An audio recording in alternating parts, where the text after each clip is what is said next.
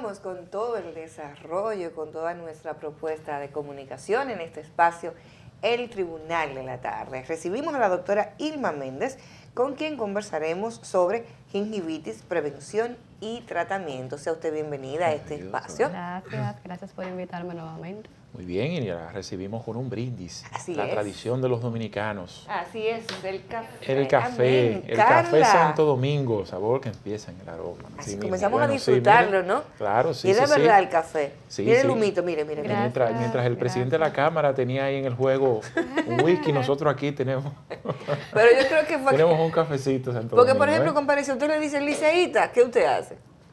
Yo me ofendo. Y si Yo me dicen a mí cogidita, Usted lo coge suave.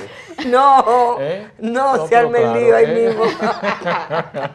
yo creo que fue que no Sí, fue otra cosa, lo ¿eh? que dijeron fue cogidita. y por eso sí. que se armó el lío.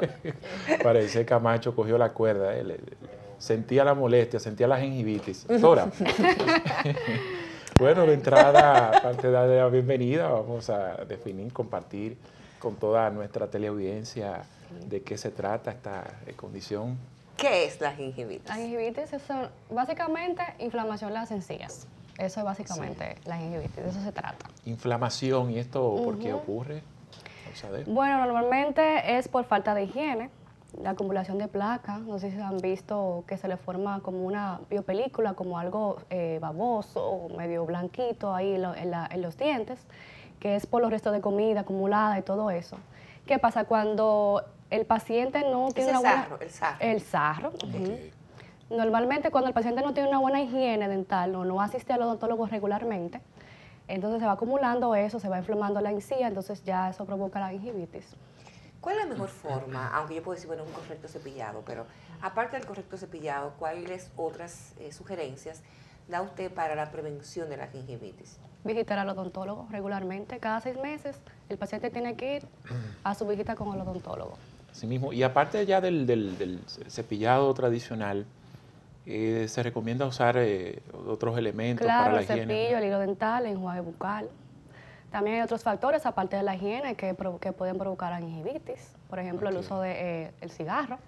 Los pacientes que fuman eh, son muy propensos a tener este, este tipo de enfermedad, claro está. Sí, aparte de, de- de dolor, de molestia, ¿esto genera algún tipo de consecuencia extra en, en el paciente? Sí, claro está. Eh, si no se trata a tiempo, puede, puede generar una periodontitis, que ya es una etapa muy avanzada. En esta eh, va provocando daño a nivel del tejido eh, eh, de soporte del diente, entonces puede provocar movilidad y hasta pérdida dental. Hay un aspecto, ¿cada qué tiempo, doctora, debe cambiarse el cepillo dental? Cada tres meses, cada tres meses es lo indicado. Los pacientes que han tenido procesos eh, de virus de gripe, después que salen del proceso del virus gripal, es recomendable que lo cambien. Muy bien. Y, ya producida, o sea, ¿cómo, cómo tratar la, la gingivitis? Aquello ya que el, el paciente que la tiene. Bueno, el, el paciente tiene que tener la higiene dental adecuada, visitar al odontólogo. En el odontólogo se le van a dar las indicaciones al paciente, se le hace su profilaxis dental eh, y se le indican entonces antibióticos si lo necesita y su enjuague bucal, lo que, lo que necesita en ese El momento. periodo de, de- de curación toma mucho tiempo. o- o Eso es depende sencillo? de la gravedad, depende del paciente, depende de la zona. Eh, hay pacientes que solamente tienen una, una zona localizada o hay pacientes que lo tienen en la boca en general. Entonces ya eso depende de, de la gravedad de Doctora, hablemos de pacientes que tienen ya una condición de salud. Vamos a ima- imaginarnos un paciente diabético. El tema del cuidado de las encías que es de tantísima importancia, bueno, en- a todos, Sí. pero de manera muy particular con el paciente diabético en la mujer embarazada, Sí, en un estado de gestación. En este caso, en estas dos condiciones, embarazo, embarazo y diabetes, ¿cuáles sugerencias para enfocarnos también con, y conectarlo con la gingivitis? ¿Cuáles, cuáles, cuáles recomendaciones da usted? Bueno, eh, normalmente las embarazadas, las hormonas se le alborotan, ustedes saben, eh, pueden influir en eso. Eh, lo, que, lo que tienen que hacer es visitar al odontólogo, ya el odontólogo le van, a, le van a decir, le van a dar las pautas. Ustedes saben que es un poco delicado cuando una mujer está embarazada hacer, ciertos tipos de tratamientos eh, dentales. Eh, no se puede ir uno muy profundo, no se puede aplicar anestesia en cierta etapa del embarazo, porque hay gingivitis, por ejemplo, que hay que aplicar anestesia para poder hacer el tratamiento. Entonces eso depende ya de la etapa del embarazo en que se encuentre. El, odontólogo va a determinar todo eso y va a chequear.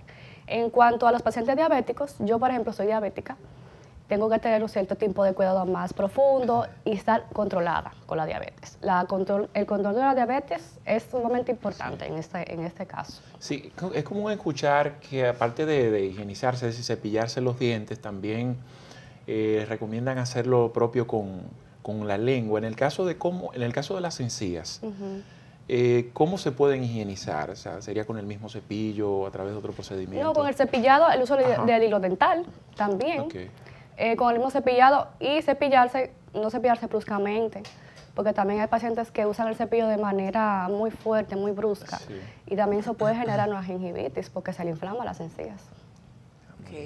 Eh, La, la gingivitis es inflamación, produce dolor en el paciente. ¿Cuál es la sintomatología?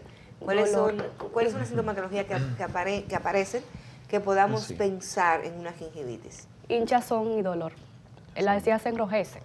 Normalmente el color de la encía es rosado, un rosadito como brillante, pero cuando está ya rojo, ya esto es inflamación y dolor. Entonces, dolor. entonces, todo aquel que tiene gingivitis, eh, pudiéramos decir que es sinónimo de, de- de falta de higiene bucal, es decir, no hay otro tipo de, de consecuencia que pueda generar en, No, en no una necesariamente lo que, lo que decía, eh, paciente que, que fuma, paciente que fuma, diabético, sí. si no tiene, está controlado, eh, los pacientes que tienen cáncer, que pasan por procesos de, de, de radiología y quimioterapia, eh, radioterapia y Sí. quimioterapia, eso también afecta. Eso, en- eh, pudiéramos decir que la gingivitis es, es, es común, es muy frecuente en, la- en No, los no. pacientes o es... No, no, no, eso depende. La mayor, la mayor parte de, la- de los casos es por falta de higiene. Pacientes que no tienen cuidado con, con su Ah, higiene. ¿Hay alguna edad en específico que hay que.? Y pongo la, hago la pregunta con aquello de que los que tienen hijos pequeños, de- que ya comienzan a hacer la higiene dental, eh, ser responsable de su cepillado.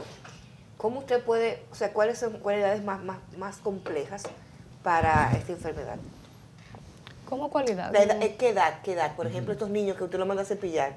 Sí me cepillé, pero tú- duran, No, duran lo que Sí. dura el sueldo. de- rápido, se, se- lo hacen rápido. Yo trabajo mucho con niños y, por ejemplo, a- me llegan a la consulta para los papás, niños de 4 o 5 años, es imposible usted dejar a un niño de 5 años cepillándose solo, no puede. Uno tiene que, que supervisar, no lo puede dejar solo, o cepillarlo a uno o supervisar el cepillado. O sea, tú terminaste, vamos a revisarte o pasarle, volver a repasarle el cepillo, cosa de que ellos entiendan que no es así, o sea, que tienen que aprender a cepillarse de la manera correcta. Si tú lo dejaste solo, no lo van a hacer. Es como si tú lo mandaras a bañarse, se estrujan la pancita, me bañé, mismo. ya terminé. Es Pero así. da Sí. gingivitis a esa edad, así chiquititos. Sí, claro. Claro que sí, si no tienen un cuidado con ellos, sí. O sea, que que igual sí. caben Sí. los niños como los adultos mayores, que hay que tener especial cuidado. Claro que sí. Y los bebés también, por ejemplo, los bebés, lo ideal es tú, eh, después que eh, eh, toman su leche, te tomas eh, una gasita, te la envuelves, la mojas y se la pasas bien por, la, por la boquita, porque también. Y, y- y las encías o hinchazón, o sea, no podría inflamarse, eh, por ejemplo, por, por algún consumo de un alimento muy caliente, muy frío. También, sí, claro que Eh, ok. Claro y eso no necesariamente es gingivitis. No, no necesariamente, no necesariamente.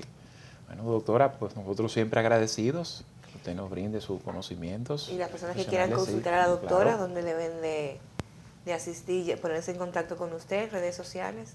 Bueno, estamos en Instagram, ilma.méndez, ahí pueden conseguir.